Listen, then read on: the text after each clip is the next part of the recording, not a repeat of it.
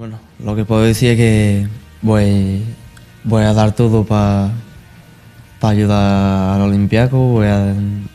voy a dejar, como se dice, la piel en, en el campo, voy a trabajar mucho que mm, para poder apoyar el Olympiaco y que, que, que la afición esté con, con nosotros también.